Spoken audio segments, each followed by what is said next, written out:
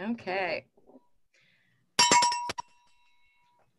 Welcome to the Bloomington Rotary's weekly celebration of service for December 15th, 2020, the last meeting of the year. And I'm your current president, Ashley Wesley. Thank you for being here. Natalie, could you please show the flag graphic for 15 seconds of respectful silence? We ask that everyone remain on mute and take this time to personally reflect.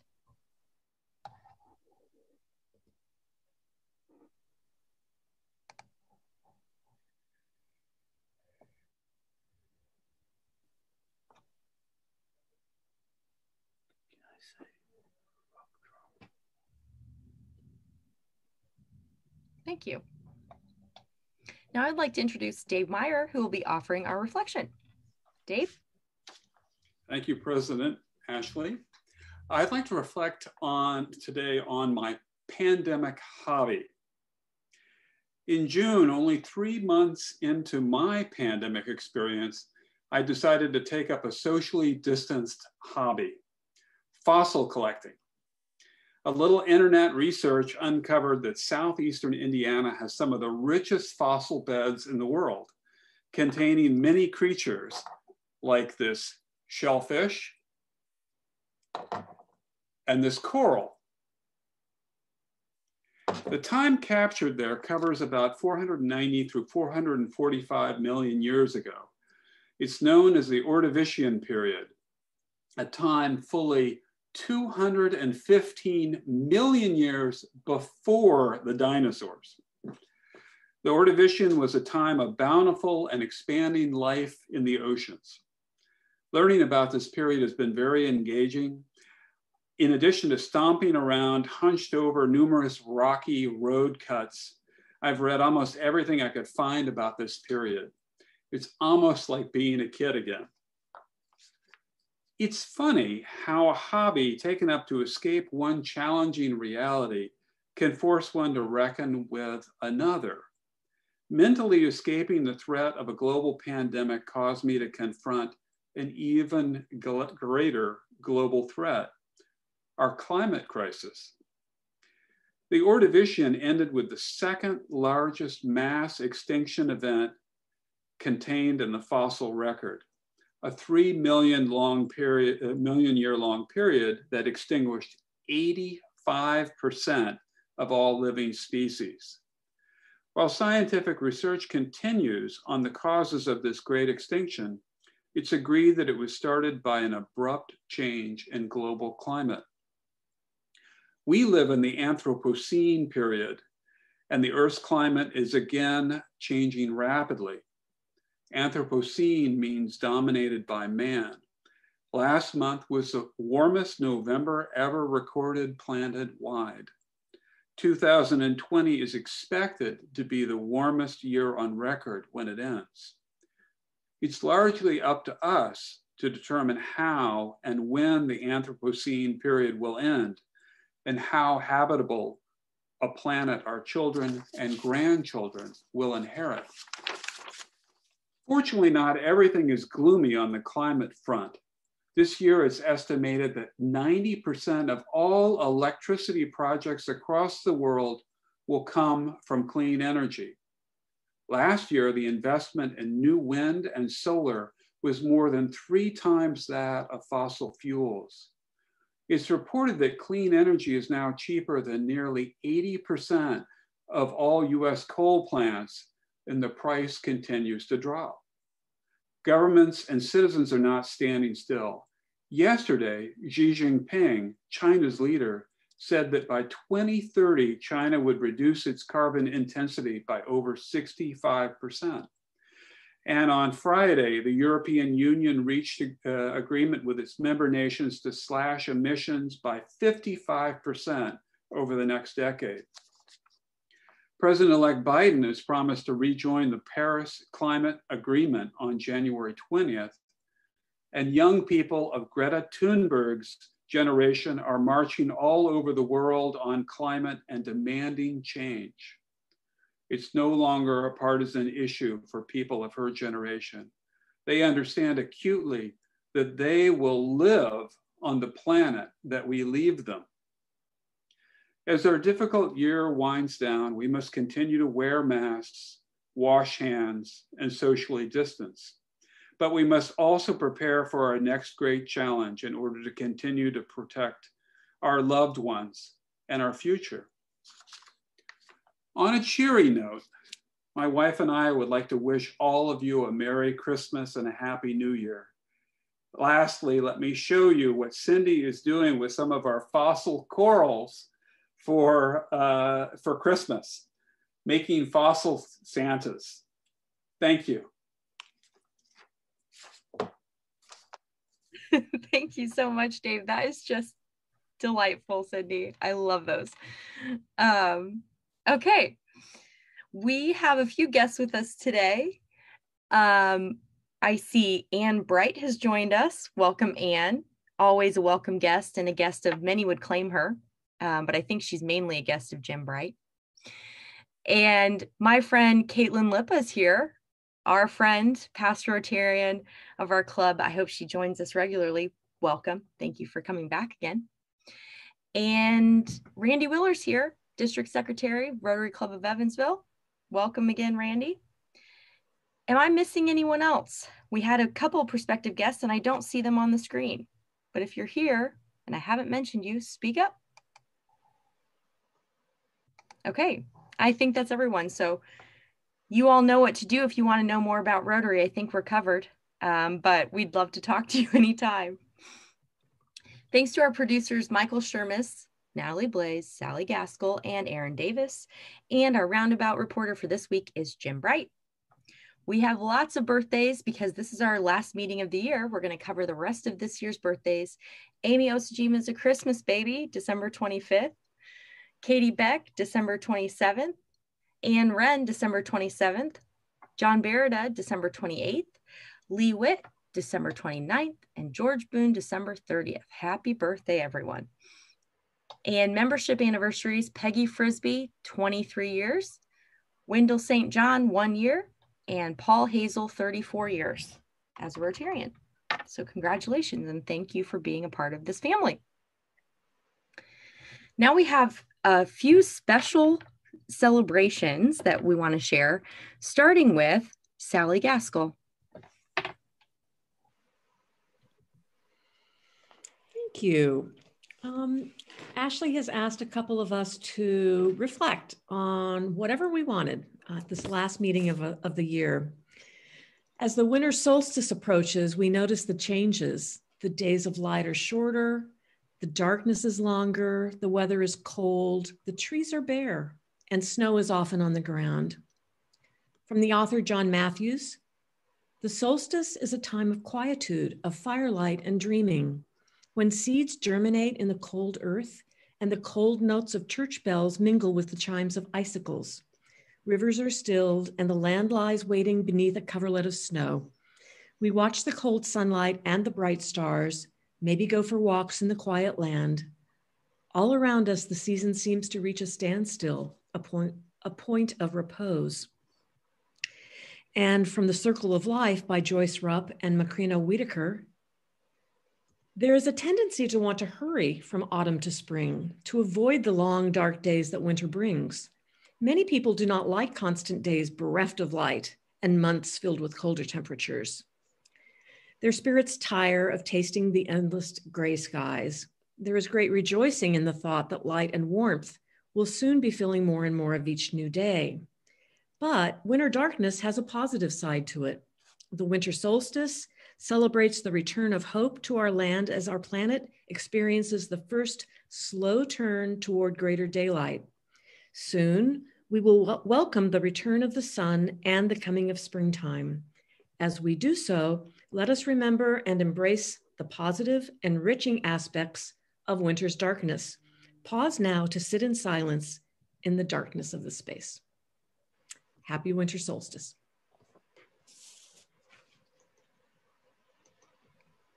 Thank you, Sally. Next up, we have Rosie the Clown to share something with us. Rosie? Thank you, Ashley, and thanks for inviting me to share with you a uh, holiday reflection. Um, when I gave some thought to it, I said, the best way to, for me to reflect is to talk about Rosie the Clown. And uh, so I'm going to share a little bit with all of you.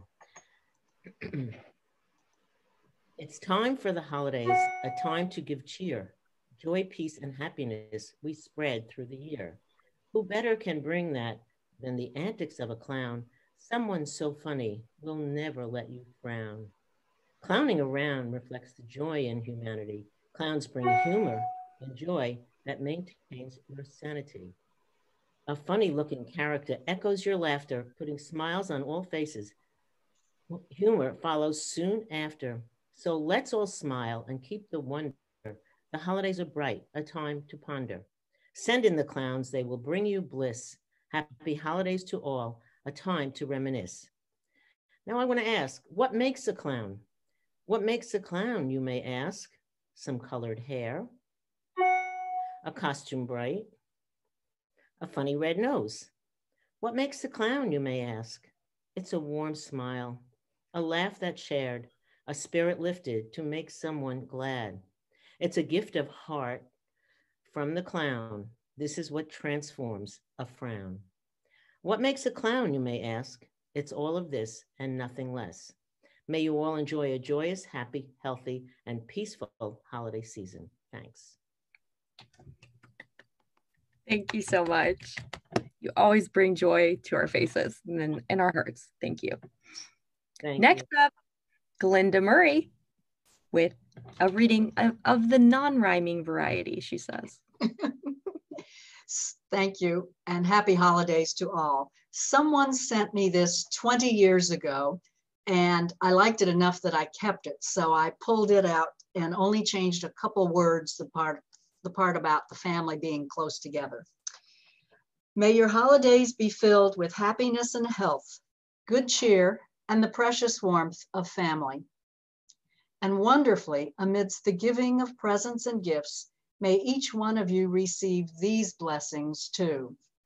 Happiness deep down within, serenity with each sunrise, success in every facet of your life, close and caring friends, and love that never ends. Special memories of all the yesterdays, bright todays, and with much to be thankful for. A path that will lead to beautiful tomorrows all through the coming year. Wishing you every joy of the season. Thank you, Glenda. And our last presentation is from Charlotte. Do we have something to share, Charlotte? You're on mute.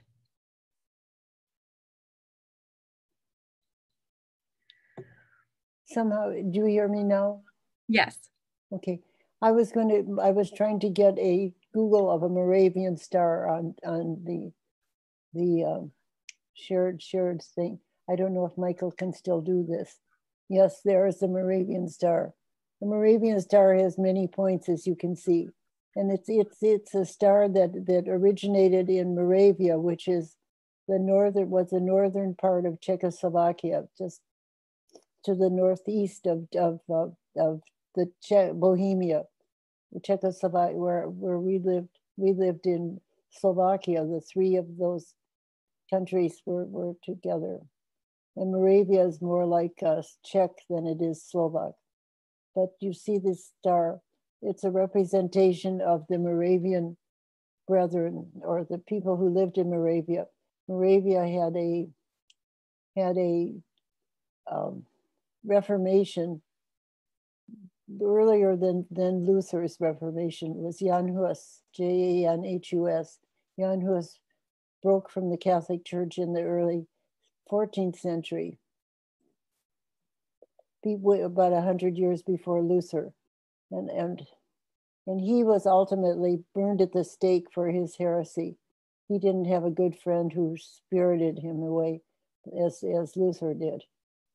But this star has many points, as you can see, it points in every direction.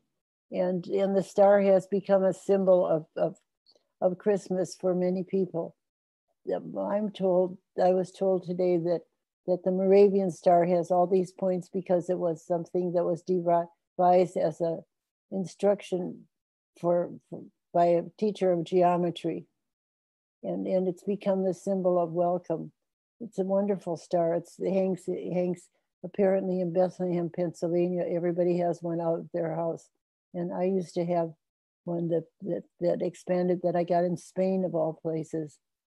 But the star next week, uh, my I, I'm told on the 21st of, of December, Jupiter and Saturn are going to cross down in the south southwest part of our sky early in the morning. And, and they, they will be extremely bright. And people say that that, that, that that may have been the Star of Bethlehem that's part of the Christian tradition, that, that it's the conjunction of, of Jupiter and Saturn and the Moravian. So stars are part of our Christmas um, traditions, many of different, mainly Christian, but not only, and they have totally different origins. But it, it's, I love this star, the many pointed star. And um, one of the things I didn't realize, we used to have a bookstore here called Morgenstern's, which Morgenstern is, Morgenstern is a morning star. And, and, and he has on his, he had on his logo a star like this. So stars are everywhere and our stars are in our hearts, I believe. And fortunately, today I feel better about, about the world than I have for a long time because of because people who thought they were stars have fallen and people, other stars have risen. So happy stars, everybody. Merry Christmas. I love you all. Thank you so much, Charlotte. That was winged. you can never tell. Always. Yes. Thank you. Okay, so that concludes our special presentations. Thank you to everyone for offering those readings and reflections. It's it's such a special time and I feel very lucky to be a part of this family with you all and I appreciate you all. We have an announcement from our ringleader, Steve Moberly, about Salvation Army bell ringing. We really need some more help for this Saturday, December 19th at Kroger East. Volunteers can click on the link in the roundabout or they can call Steve directly at 812 339 8619 and he will sign you up. I'll put that number in the chat so that you can reach him if you'd like to sign up for this Saturday, but we could use four uh, shifts covered. So please consider taking one of those shifts this Saturday and the holiday greetings are flooding in, but I still think that there's some more out there from you guys. So this Friday, I'd like to have all of your greetings so I can compile our special project to share with you all. Thank you to everyone who's given uh, me this joyful task. I've really appreciated all the videos and photos and uh, can't wait to share it with you. Michael, can you show the thank you cards that we received just very quickly? I'd like to share with everybody if you don't have them, we'll show them later. Yeah, later, I guess, because I don't have them. So that's fine. We need to get to our speaker anyway. So, um, without further ado, Owen, would you introduce our speakers today? Thank you, President Ashley. Um, in 1986, my wife and I took a week long trip to India and Nepal prior to attending an international communications convention in New Delhi. One of our fellow travelers on that trip, Doug Newsom from Texas Christian, spent the following year as a Fulbright professor at Osmania University in Hyderabad. In Hyderabad, she, yes, Doug is a she, met a promising young woman, Radhika Parameswaran, whose parents both had PhDs. Her late father had won an All India Best Teaching Award. Doug persuaded Radhika to come to the US for graduate study. Radhika enrolled at TCU and earned an MA. She went on to the University of Iowa, where she earned a PhD. In 1997, Radhika came to IU with her husband, as Doug had become her mother in law. Radhika has a distinguished career at IU, She served as chair of the journalism unit right after it became part of the media school. She has edited a volume of the International Encyclopedia of Media Studies, written two monographs, and authored numerous scholarly articles. She has been a judge for the Peabody Awards in electronic journalism. Like her father, she is an outstanding teacher. At least four times she has won teaching awards at IU. She is a Herman B. Wells Endowed Professor. This year, she is a fellow in the Big Ten Academic Alliance's Academic Leadership Program, which helps professors planning to pursue careers in academic administration to develop leadership skills. Radhika has mentored, more than a dozen PhD students and is much sought after as an advisor. One of them currently is Pallavi Rao, who joins her in speaking to us today. Pallavi came to IU from Manipal University on the southwest coast of India. Previously, she earned a professional master's degree in writing and communication from Deakin University in Melbourne. Already, like Radhika, she has won teaching and research awards at IU, where she is focused on studying journalism, news histories, and digital media cultures in contemporary India. This fall, she has been teaching what sounds like a very interesting topic called We Are Extremely Online Digital Media and Participatory Cultures. Please give a warm Rotary welcome to Professor P and Dr. To Be Rao. Yes, here's hoping. Thank you all so much. We're delighted to be here. Uh, we want to start off by sharing our screen, making sure we can do that. And um, let me see, here we go. And then you can start. And can you all see the screen? I just want to make sure. Okay, thank you so much for confirming. Um, I'm delighted to be here. And Owen, what a warm and generous and personal and such a lovely introduction of both me um, and Pallavi. It's an honor for me to do this with Pallavi. She is my dream advisee. The ones that you know the kind of advisee that you go someday i will have them. There she is. So it's such a pleasure to do this with her. Um, and as as um, uh, owen just pointed out we're both in the media school. And one of the things i'd like to do before we go any further is explain this um, you know interesting visual to you and this is a this is actually kind of a digital uh, art you know painted by this illustrator hanifa abdul hamid who is South Asian herself and lives in the US and, and came up with this very interesting um, portrait of Kamala. As you can see, this shows her very much as a hybrid sort of racial uh, personality. There's the American side of her. She's in a suit, blue suit. Um, she's, um, you know, got henna on her hands and she also has uh, the bindi on her forehead, kind of bringing together her different um, identities. Quickly to point out the significance of the vote for Auntie, that is um, a recognition of Kamala's South Asian um, identity, and I want to tell you all what that is. She put out a tweet uh, you know, um, and she said, I'm a senator, I'm a wife, I'm a momala, which is a combination of mom and Kamala, and auntie. So auntie is a comes from South Asian culture. It's a term of respect for uh, um, you know women of a certain age, typically middle-aged and older. Um, and some people have argued that um, you know it could be diminishing women, but we uh, neither Pallavi or I see it that way at all. Basically, it's a term of respect. It doesn't reduce a woman into someone you know who doesn't have intelligence or status. Um, you know it's none of that because when we were growing up aunties were all kinds of women you know uh, including women who were respected for their domestic skills. So um, you know i just wanted to quickly explain that. I also want to say that today we're here um, and my colleagues like you know who were in the uh, zoom room including professor john dilts owen uh, you know, uh, Professor Jim Bright and others know this.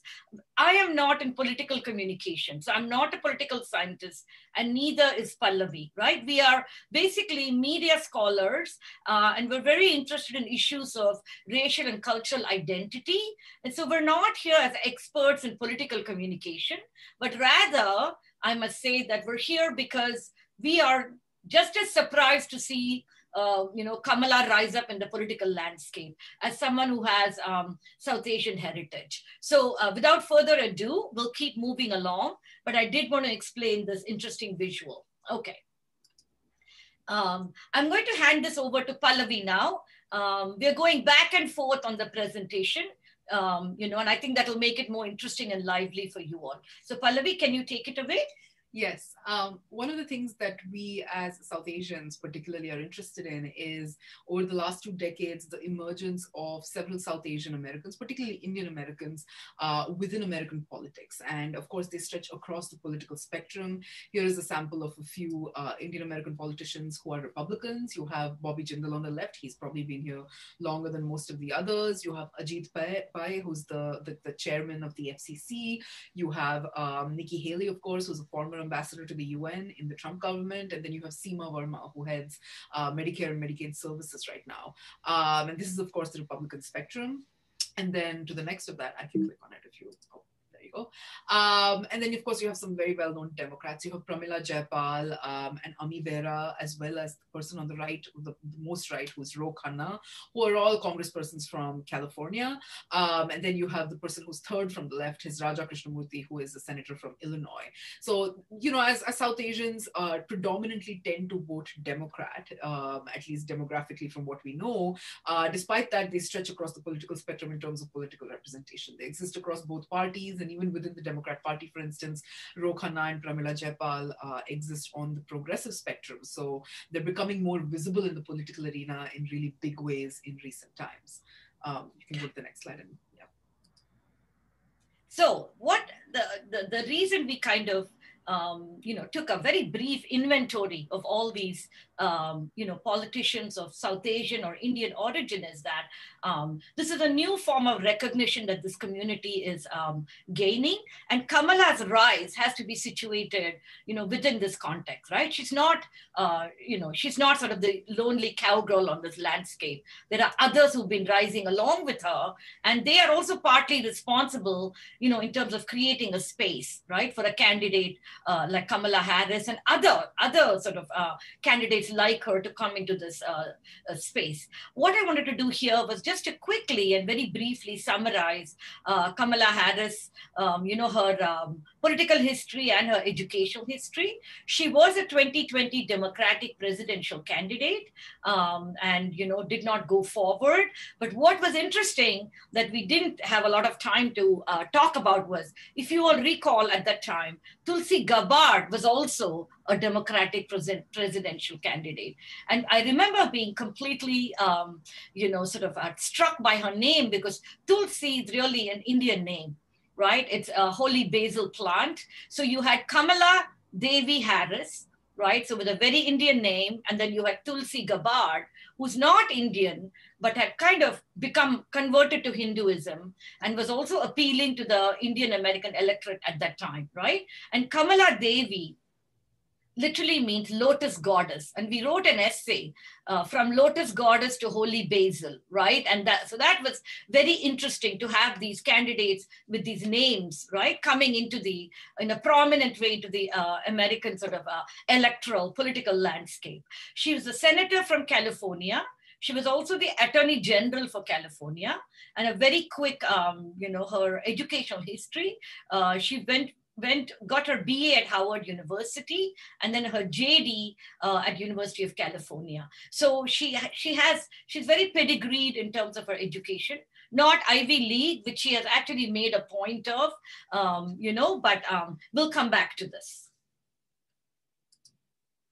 Now, her very unusual uh, biracial background, which is what you know we want to kind of talk about today. The focus of her identity for us is that her father, Donald Harris, um, uh, is of a Black Jamaican origin, And her mother, uh, Shyamala Gopalan, is of Indian origin.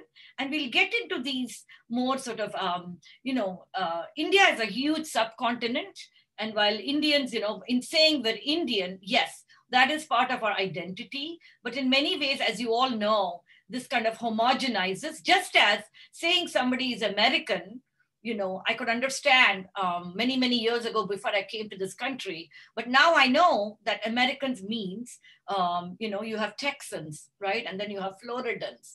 You have all kinds of Americans, right? And so uh, Americans from the South see themselves a certain way. Americans from the North, you know. So in the in a similar way, Indian identity is very diverse. And her mother is a South Indian and a Tamil Brahmin. And just in terms of full disclosure, part of what we find very interesting in this that is that both of us are of that identity, right? And so to see a candidate, um, you know, with who's uh, part of our identity really resonated for us because we wanted to unpack what this means, uh, both in a scholarly way, but also in a personal way. And uh, one of the interesting things, of course, about our scholarship that, you know, it allows for us to do this, right? You take your personal identity as a starting point, but then you do more with it rather than just um, be narcissistic about it, right? So we found this very interesting. Um, Shyamala's mm, uh, mm, father, right? So uh, this is Kamala's grandfather, was a diplomat and her and a political anti-colonial activist. Her mother was also an activist. Um, and, and just to keep in mind, the father, you know, was educated in English, spoke English fluently. Um, and so she comes from a pretty elite background on her mother's side. And I would not say elite necessarily in terms of um, economic wealth, but definitely in terms of what we would call cultural capital, you know, um, and in other ways, right, in terms of educational background. Shyamala is an unusual woman herself. She migrated to the US in 1958 to get a PhD in cancer research at UC Berkeley. And that's where she actually met Donald Harris. And both of them were very involved in civil rights uh, activism, in, in social justice, uh, and sort of anti-racism, although it was not called that at that time this is something you know we're beginning to talk about uh, now and so in many ways very unusual because in may for for women for a woman to come alone in 1958 and she was quite young mm-hmm. uh, you know about 19 or 20 and without a husband right coming on her own um, definitely puts her into a category of you know um, of somebody who's quite unusual and exceptional uh, in terms of her gender politics and then for her to uh, you know uh, join the sorts of activism also uh, and and that to remember she's from a STEM field. It's not that she was in um, you know history or English or these fields that we typically associate with activism. So this is just a little bit of uh, her background. So um, the, one of the points of interest, as Radhika mentioned, for us as media scholars is really about how media has been implicated and how Kamala's identity becomes a big part of the discourse, particularly since she's become, uh, well, particularly since she ran as a presidential candidate. And then, of course, uh, with her candidacy and, of course, now being the vice president elect.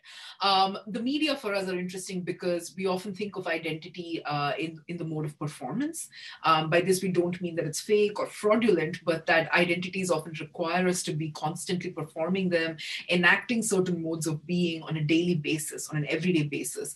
Um, and the media, because Kamala is a political figure, especially, the media become an important site where uh, you know, you have the process of how Kamala constantly identifies and gets identified as Black or Asian American or female, right? All of these have been uh, conversations that the media has both participated in, but that Kamala has also strategically, strategically sort of, you know, um, materialized and leveraged for her own political uh, career.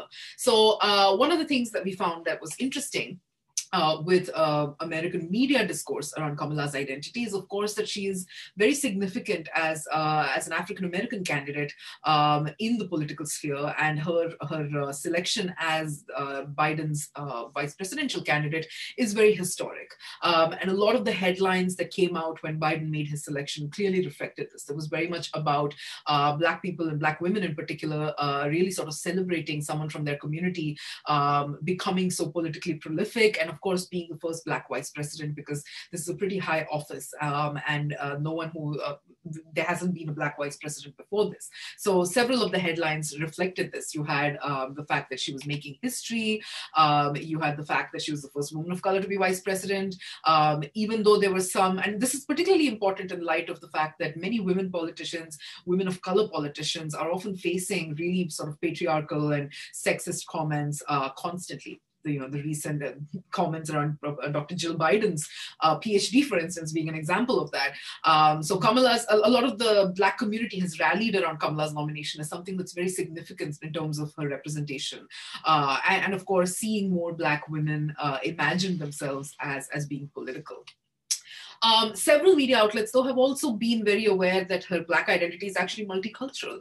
Um, so you have several headlines, for instance, talking about um, you know the fact that she's making history in multiple ways. She's the first female, the first Black, and the first Asian American vice president. Um, there's been a, some sort of some some pockets of these communities, whether Asian American or Black or women, have actually had issues with how real she is, right? We've had many South Asians, for instance, particularly Indian media, interestingly, that sometimes say that Kamala is not really Indian at all. She's more Black and American than she is um, Indian American. Uh, and on the other hand, you have had some smaller pockets of even Black commentary that say that she's South Asian and not really Black, whatever that means, right? So you have had several opinion pieces, for instance, really push back against. Um, um, this idea that Kamala is, uh, you know, both Asian and Black, um, but that it actually reveals how America sort of struggles to talk about multiracial people and people with multicultural backgrounds. Um, and the fact that identity is complicated and she shouldn't have to choose just one. Some of these other headlines, um, this is a CNN one, for instance um, also refer to how Kamala herself has sort of refused to be slotted in either or you know categories. Uh, Kamala calls herself purely American, right? The very fact that she is sort of representative of these different cultures, uh, immigrant cultures, uh, African American culture, I think is significant, and in that she sees America as sort of this real conglomeration of identities, um, and the fact that many people have complex roots to becoming American. So being a proud American is is how she likes to present herself, um, and we think that is very interesting that these tensions are sort of evident in many of the media commentaries around her uh, vice presidential candidacy. Uh, I'll let Radhika take yeah. over. Yeah. So um, yeah, we thought we would, you know, separate these out.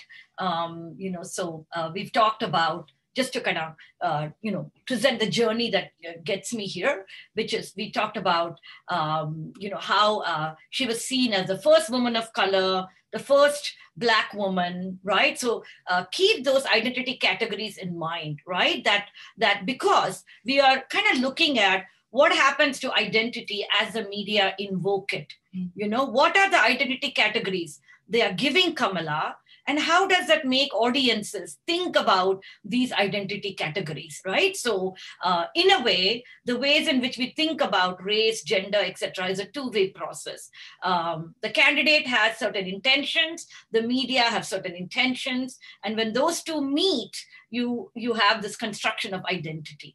Um, so we uh, were very curious as um, south asians as uh, Indians in the US to understand the Indian American response, right, to, uh, uh, to Kamala uh, Harris. So uh, here is a headline that says feeling seen for the first time indian americans cheer kamala harris's selection. So part of the issue for the indian american community has been um, you know how do you slot indian americans racially? Who are they? They're not black. They're not hispanic. They consider themselves brown but what kind of brown is this? Because Hispanic Americans also and Latino Americans also call themselves brown, right? But this is a very different uh, type of brown. And in many ways, they fall through the cracks you know there's this perception right? That they fall through the cracks in terms of thinking about uh, racial categories. And so and some of that has been accompanied by feeling invisible. And a lot of scholars of indian american racial identity in the us have ta- talked about this concept of racial ambiguity. What do you do with the racial ambiguity? And how do you um, you know when you are ambiguous in that way how do you mobilize how do you push for rights right so that has been um, you know uh, kind of a problem right there is this category of the model minority but that conceals which is celebrates sort of indian american accomplishments but that often conceals the realities for many indian americans you know for example think about the simpsons right? The convenience, um, uh, the uh, store owner or the motel owner. These are categories that do not fit uh, the model minority. Yes. Um, so, so on the one hand, the previous headline kind of, you know, alluded to visibility and recognition, but there are also um, Indian American journalists themselves that's the other interesting thing. A lot of the journalists who are covering this identity also tend to be Indian American, right? And so here you have an Indian American journalist, Maithili Sampath Kumar, um, who says, um, you know, uh, Kamala Harris, yes, um, we recognize you, we know you're Indian American, but please don't assume you have our votes, right? Because remember, the ways in which political candidates talk about their identities often is about mobilizing votes from this group or that group, right? And we don't need to only sort of uh, accuse Kamala Harris of this, but others as well, right? So Indian Americans have said it's complicated. Don't you don't have our vote, right? now let's get to um, South Asian activists who are not Indian American but Bangladeshis, for example, uh, have also uh, argued the same thing, right? Don't assume. And let me quickly talk about why this is. Um, Indian Americans, especially younger generations, and activists as well from uh, other South Asian communities have been quite critical of Kamala's uh, record as a prosecutor, right? They've been critical of her, um, you know, so, sometimes aligning herself with the police, sometimes not stepping up uh, to criticize um, racial profiling. They've also criticized her for um, not being uh, much more vocal about, um, you know, sort of defunding police providing more resources for mental health, social work, uh, etc., rather than the police alone. Right? So it's a pretty complicated relationship. Um, and so the Indian American response you know goes across the spectrum there are those who have felt very very happy about it then there are those who've criticized it just as you know others have other people of color have criticized it now, getting into the inner layers of her identity, right? So we're kind of peeling it away like an onion from the top layer, go getting to the inner layers, right? Um, the sort of one of the layers, of course, is South Asian, and then there's Indian. But some of the more less visible layers are that she's also Tamil and Brahmin. What is Tamil? Tamil is an identity that comes from uh, South India, and uh, both of us, I am, both of us are affiliated with that community. We speak Tamil. Um, and she also belongs to a caste community, which is one of the top castes in India, the uppermost caste. And this is a caste that is particularly known for having access to a great deal of cultural capital. And I'll talk a little bit about that soon. This is an elite South Indian caste group. Among the diaspora, uh, more, many Americans um, would know these two names, um, Tamil Brahmins. That includes Sundar Pichai, who is CEO of Alphabet, uh, also Google, and then Indra Nooyi, who was um, the former CEO of PepsiCo. And lastly, I don't know how many of you would recognize the name Padma Lakshmi. She is a TV personality, host of Top Chef, but also has a new show called um, Taste of the Nation on Hulu. Uh, so these are some people, you know, celebrities that we would recognize. In general, the Tamil Brahmin community in the US is a highly educated professional class um, and um, typically overrepresented in STEM careers and in Silicon Valley. So this is part of Kamala's background. So um, what does this visibility mean and how has it emerged during her candidacy, right? She's seen as part of this Tamil American community. I don't know how many of you know who Mindy Kaling is. But Mindy Kaling is a well-known uh, comedian. She's appeared on um, movies. She also had her own show, right? And I don't know how many of you watched The Office, the, the show with Steve Carell. She was also on that. So very interestingly, uh, there was this very sort of uh, Tamil American moment where Kamala visited Mindy, uh, and this is Mindy's uh, house. This is a kitchen, and they made a South Indian snack called masala dosa together, right? And this moment that you see here is where Kamala has just finished chopping onions, and Mindy is quite astonished at her cooking skills, right? Where she's demonstrated, um, you know, that she can do this. And for many Indians, this is sort of a signature sort of, you are a good cook if you can chop your onions, right? Really fast and really small, okay? So this is sort of a legitimating moment. And one of the things Pallavi and I were talking about was how in so many ways, food becomes such a way of signaling our identity, right? And that is true, I would say, of all Americans. Here is more recognition from the South Indian community, the Tamil community. Here is Padma Lakshmi, who I just mentioned, was so happy when um, Kamala, right, was picked as vice president that she says, I literally have tears in my eyes. And Kamala used a word chittis, and that means auntie in Tamil, and that is what has moved her to tears, right? To see a uh, Tamil word being uttered, you know, as part of this political landscape, right? A feeling of belonging and identification. Another celebrity, Mehdi Hasan, who has worked for The Intercept, who now works for NBC's Peacock streaming service. He's a journalist. Talk about complicated identity. He is formally, he's British but now American, lives in the US now, uh, but also Tamil and also Indian, South Asian. And uh, he was so thrilled that, that Kamala talked about eating rice and yogurt, potato curry, dal, idli, right? All the foods that are so familiar to him. So, yeah, um, so we're kind of going to conclude our presentation now, and we want to make sure you all have time for, uh, time for questions. So this is our sort of takeaways. Um, one of the issues, you know, that I quickly wanted to talk about, just from an academic standpoint, is there's a scholar called Loic Wacquant, we hope we're pronouncing his name right, um, uh, who has talked about this concept called logic of the trial. And what does this logic of the trial mean? What it means is that often, whether candidates um, invoke their identities or the media cover their identities, there's a way in which um, you know you have these. It's almost like a puzzle. You name the identities, right? So and so is Black, Asian, Asian American, South Asian American, Tamil, right?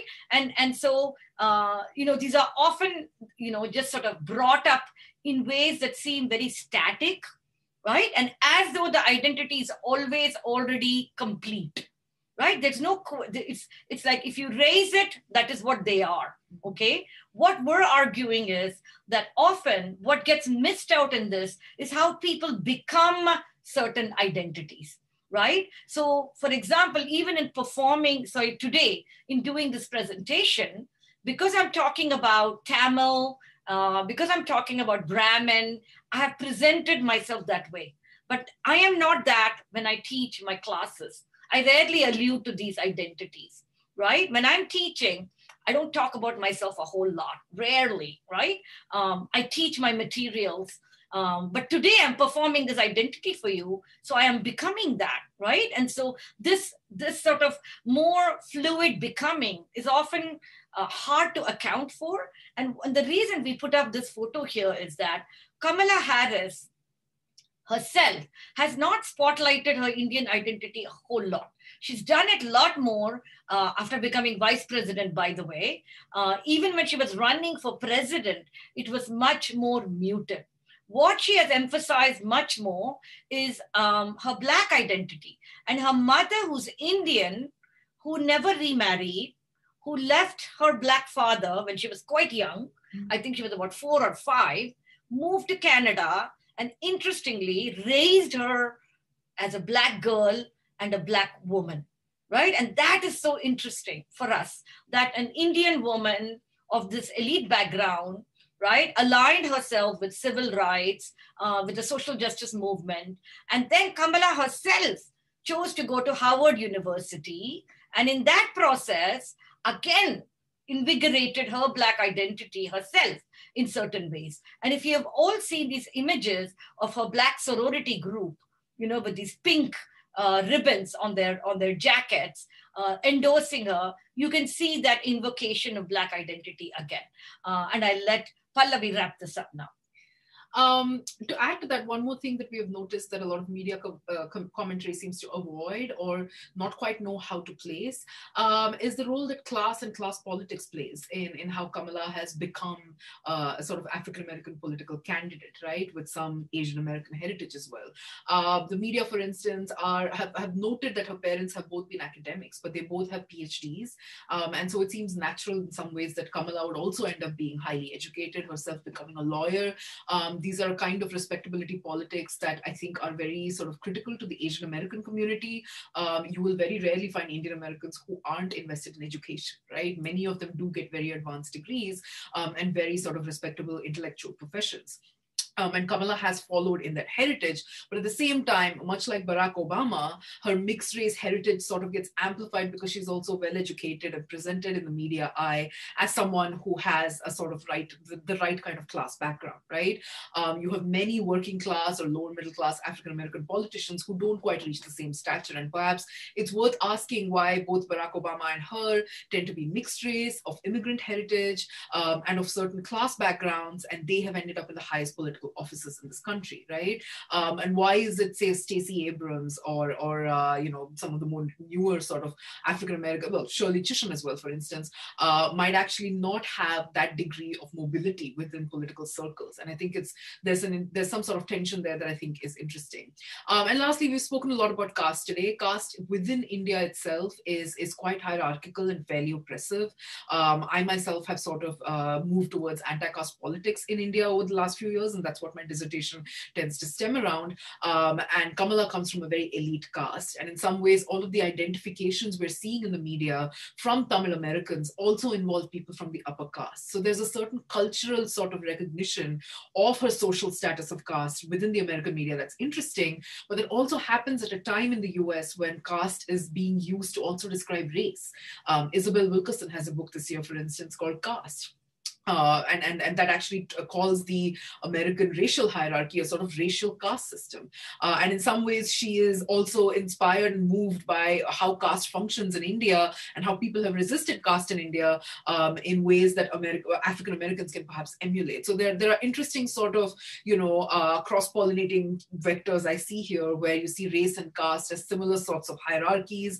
Um, and Kamala, interestingly, navigating both of them at a time when both are very visible in American culture, right? Right? 2020 is a big year for anti-racist politics, but in India, it's also been a big year for anti-caste politics. Um, and so that the, the, fact that she comes out at this moment, for, for me at least, is, is very interesting because both of these identities are seen as very critically sort of being analyzed in the media and becoming very much the focus of attention um, in, in ways that I think are worth thinking about quite deeply. So uh, we're happy to take questions. We'll stop here. Um, and we hope you, you found this useful and engaging in some ways. So one quick thing I wanted to say was this picture is Kamala's ancestral village mm-hmm. in uh, South India. I don't know that she's ever been to this village. When she's visited India, she's often gone to this very cosmopolitan place uh, in Chennai or Madras, you know, the city, um, and in within that, a very uh, a place called Besant Nagar. That is where she has gone the most. But here are these villagers celebrating um, you know, uh, her victory. And because Pallavi brought up Obama, I'll just say when Obama won, same thing. There were parts of Kenya where his father came from, you know, the sort of village where they celebrated as well. Mm. Uh, so we will do, we will stop share now and see if you all have questions. Sorry, we ran a little bit over time. Please put it down to enthusiasm. Thank you so much. Uh, do you have a few minutes to stay after as yes, we close the presentation? Okay, we'll take a few questions after we formally close. But yes. thank you so much for your presentation today. And in honor of your uh, presentation, I kept keep saying that. I apologize. Uh, we'll be giving a donation to Amethyst House. So thanks again. And Sally, will you tell us about next week's? Not next week's. Three weeks from now. Three weeks. next program. Yes, our next meeting is January 5th, 2021, and President Ashley Wesley will lead us in a club forum. Thanks so much. And Natalie, will you share our four-way test graphic, please, to close our meeting? Of the things we think, say, and, and do. do. First, is it the truth? To all. Second, is it fair? Third, third, third, build of goodwill, better friendships. Fourth, fourth, beneficial, beneficial. To all concerned. Fifth, and is it fun? Is it fun? All right.